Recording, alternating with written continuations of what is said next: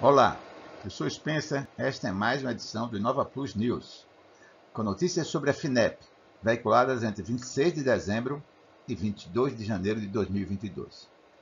Antes de iniciar, inscreva-se em nosso canal se ainda não fez. Curta e compartilhe os vídeos que gostar em suas redes sociais. Não deixe de apertar o sino de notificações para ficar a par das novidades. Toda semana, diversos vídeos são produzidos sobre os mais variados temas ligados ao Sistema Nacional de Ciência, Tecnologia e Inovação brasileiro. Vamos passar agora ao resumo das notícias de hoje. Notícia número 1. Parceria entre Ministério e Unesco premiará projetos de biodiversidade. Notícia veiculada no portal Agência Brasil, mas também surgiu no portal www.acritica.com, www.newsrondonia.com.br, www.tudoemdia.com e MediaMax. Notícia número 2. Inscrições da segunda edição do programa Centelha seguem abertas em Mato Grosso do Sul. Portal de notícias R7. Notícia número 3. Prefeitura inicia proposta para obter recursos federais para Parque Tecnológico. CGN. Notícia número 4. Incentivo ao empreendedorismo e inovação são temas do oitavo programa de realizações, realizações perdão, 2021, portal do governo federal. Notícia número 5. Financiamento do BRDE para inovação e pesquisa realiza sonho de farmacêutica. Agência Estadual de, Pes... de Notícias perdão, do, do Paraná. Notícia número 6. Sudene vai investir 6 milhões de reais para apoiar projetos de startups. Portal Bahia de Valor. Notícia número 7. Governo do Estado lança a segunda edição do programa Centelha no Espírito Santo. É essa hoje. Também foi divulgada no portal Folha do Espírito Santo, com o seguinte título: Governo lança a segunda edição do programa que impulsiona empreendedorismo. Notícia número 8.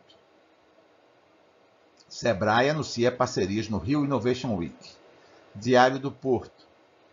Também foi publicada semelhante notícia no Enfoque MS, com o título Sebrae e FINEP apresentam a iniciativa que vai destinar um bilhão de reais em crédito para as micro pequenas empresas. E ainda no portal SEGS, com o seguinte título: Sebrae e FINEP apresentam iniciativa que vai destinar, destinar um bilhão de reais em crédito para as micro pequenas empresas. Notícia número 9. Comissão aprova projeto que facilita remanejamento de verbas para pesquisas sobre Covid-19 portal da Câmara dos Deputados. Notícia número 10. Programa Sanepar Startups recebe propostas de todas as regiões do Brasil. Agência Estadual de Notícias do Paraná. Notícia número 11. Programa Centelha 2. Inova UFPB abre inscrições com bolsas de até 60 mil reais. Portal F5 Online. E por fim, notícia número 12. Abertura de chamada interna CT-Infra Proinfa 2021. Portal da Universidade Federal do Piauí.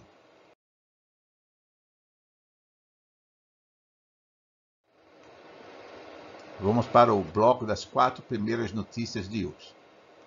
Notícia número 1. Parceria entre Ministério e Unesco premiará projetos de biodiversidade. Conforme já dito, outros quatro sites divulgaram notícias semelhantes. De acordo com a notícia, o Ministério da Ciência, Tecnologia e Inovações anunciou nesta semana o lançamento de uma competição para estimular o uso sustentável da biodiversidade no Brasil. Chamada de Prêmio MCTI/FINEP de Biodiversidade, a iniciativa conta com a parceria da Unesco, da FINEP, do CNPq, da RNP. Tal ação acontece pela Prefeitura da capital, por meio da Secretaria Municipal de Inovação, Desenvolvimento Econômico e Agronegócio, SIDAGRO, e Universidade Federal do Mato Grosso do Sul. A Prefeitura vai se candidatar na linha de apoio B, Parques em Implantação, na qual o financiamento será de no mínimo 4 milhões de reais e no máximo 10 milhões de reais de recursos. O objetivo da FINEP é incentivar o desenvolvimento tecnológico local e regional, o aumento da competitividade e a interação entre empresas e instituições de ciência e tecnologia, além de promover ecossistemas de inovação e da sociedade do conhecimento. Segundo o comunicado da pasta, a premiação terá duas categorias: produção acadêmica e desenvolvimento tecnológico e inovação. A primeira será destinada, destinada a estudantes e pesquisadores de todos os níveis que produzam pesquisas científicas envolvendo a exploração econômica sustentável da biodiversidade. A segunda é voltada para a sociedade civil em geral e premiará cidadãos da sociedade civil em geral, mesmo fora do ambiente universitário de pesquisa, que apresentem ações práticas e projetos com foco no mesmo tema, a exploração econômica sustentável. Notícia número 2. Inscrições da segunda edição do programa Centelha seguem abertas no Mato Grosso do Sul. De acordo com a notícia, a segunda edição do programa Centelha Mato Grosso do Sul segue com inscrições abertas até o dia 10 de março de 2022, sempre por meio do site programacentelha.com.br/ms. O programa fruto de uma parceria entre o MCTI, FINEP, CNPq e Fundação CERT. O posto de inscrições da segunda edição do programa Centelha seguem abertas em Mato Grosso do Sul. Apareceu primeiro em Diário Digital. Terceira notícia. Prefeitura inicia a proposta para obter recursos federais para o Parque Tecnológico, portal CGM. Conforme a notícia, a Prefeitura de Londrina sediou na manhã desta quarta-feira, 29, reunião introdutória para inscrever o Parque Tecnológico Francisco Ciarra, que fica na Gleba Lendóia, em edital da Financiadora de Estudos e Projetos, FINEP, para apoio com recursos financeiros não reembolsáveis. A chamada pública irá destinar 180 milhões de reais a parques tecnológicos já em operação ou em implantação, e as inscrições estão abertas até 18 de fevereiro. O encontro com formato híbrido ocorreu no gabinete do prefeito. Quarta notícia de hoje. Incentivo ao empreendedorismo e inovação são temas do oitavo Programa de Realizações 2021. De acordo com a notícia, os programas do MCTI direcionados a tirar ideias do papel, transformá-las em novos produtos e serviços e impulsionar a inovação foram tema de mais um episódio da série Realizações 2021. Apresentada nas redes sociais do Ministério, a série traz os avanços em políticas da pasta espalhadas por diferentes áreas. Chegou nesta quinta-feira, 30 de dezembro, ao oitavo capítulo, Inovação. O ministro de Ciência, Tecnologia e Inovações, astronauta Marcos Pontes, que apresenta a série, afirmou que uma das prioridades da pasta foi o fortalecimento dos ecossistemas de inovação. Isso foi feito por meio da análise desses sistemas no país e um edital inédito de 50 milhões de reais para a criação de centros de inovação. Nós fizemos o lançamento de um edital inédito na história do país. Primeiro edital de apoio a centros de inovação. São previstos 50 milhões de reais através da FINEP para o desenvolvimento desses centros. Aqui no Ministério, nós temos profissionais competentes para ajudar em toda a mentoria desse centro, da criação à sustentabilidade. De acordo com Pontes, os especialistas do Ministério analisam esses ecossistemas para garantir que os centros de inovação se mantenham ao longo do tempo.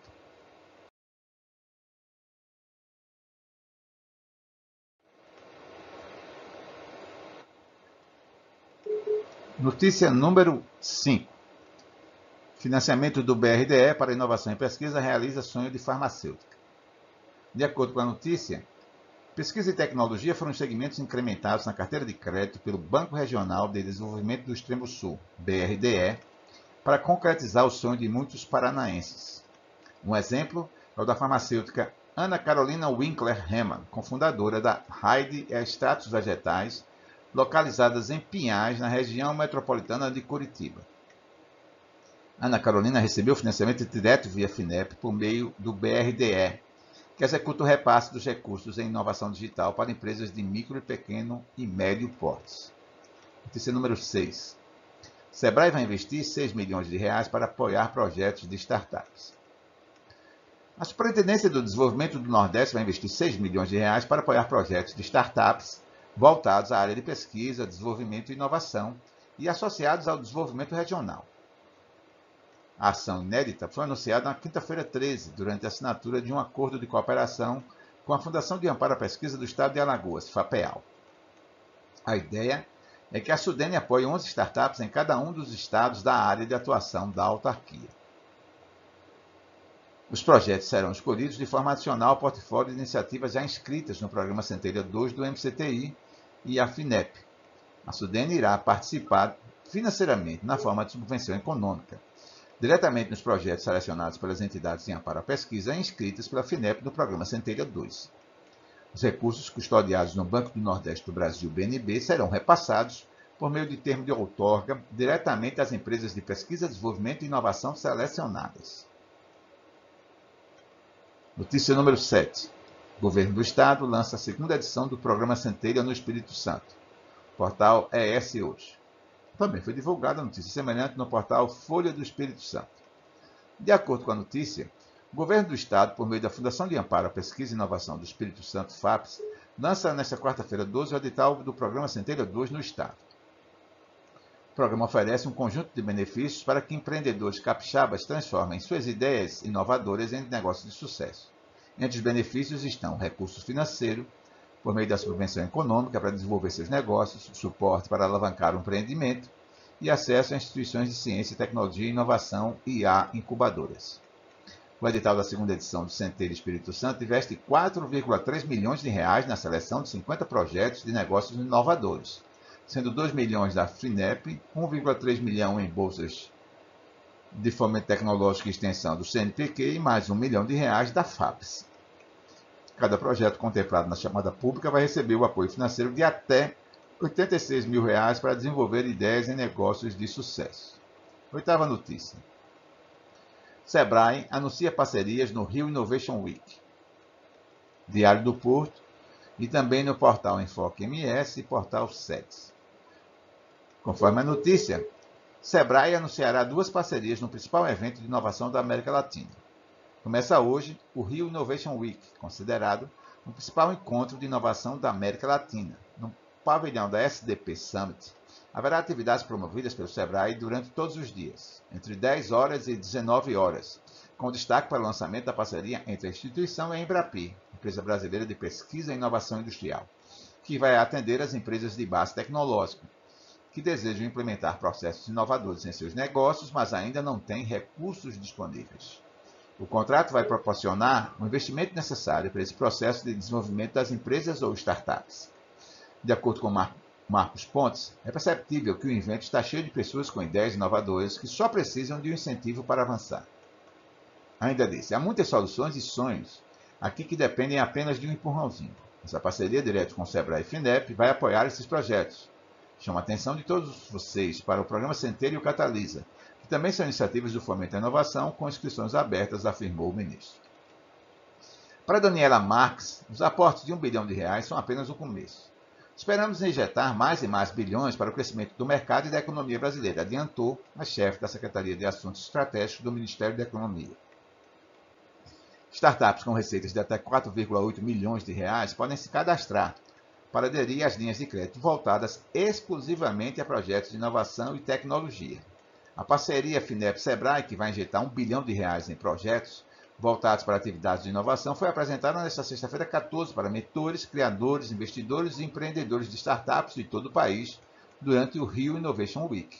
SEBRAE e FINEP, empresa pública federal vinculada ao MCTI, se uniram para impulsionar o desenvolvimento da inovação e durante os próximos dois anos vão atender mais de 4 mil empresas com receita bruta de até 4,8 milhões de reais.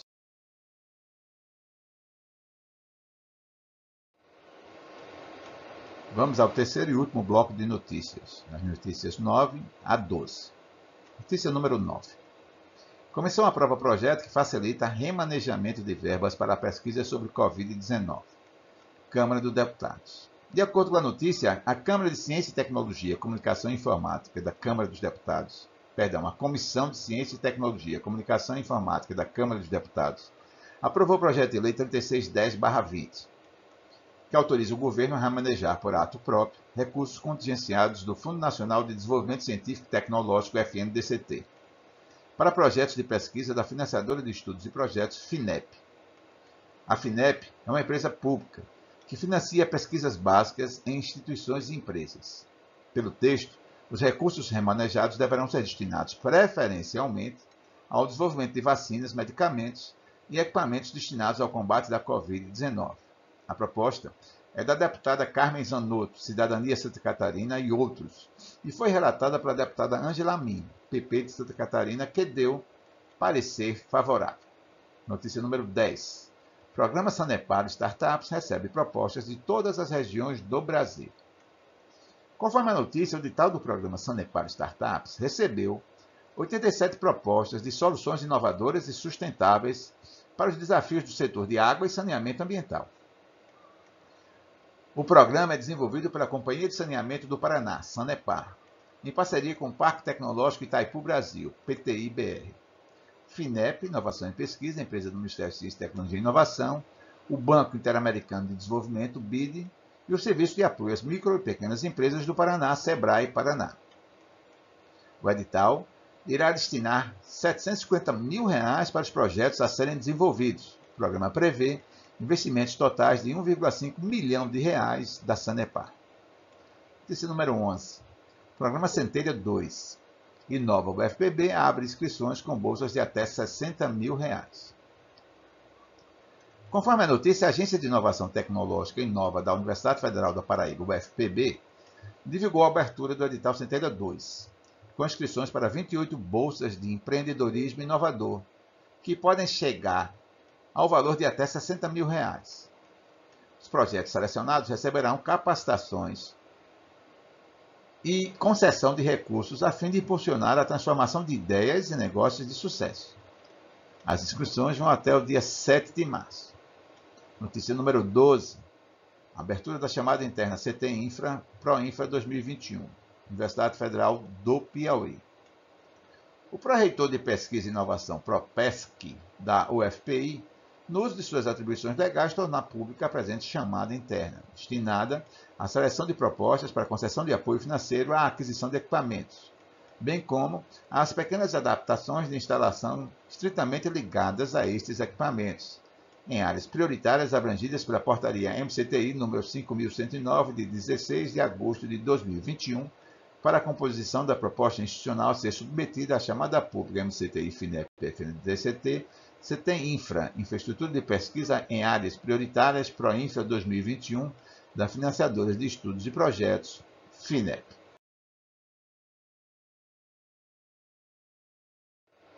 Não deixe de conferir as notícias aqui divulgadas. Os links para o acesso a seu conteúdo integral estão listados abaixo na descrição deste vídeo. Inscreva-se no nosso canal de YouTube se ainda não fez. É grátis e rapidinho. Também aperte o sininho de notificações e curta nossos vídeos compartilhando-os em suas redes sociais. É grátis, como já dito, mas também só faça se puder e quiser, é claro. E você há de querer. Faça também críticas e sugestões de pautas. Muito obrigado. Paz e saúde para todos.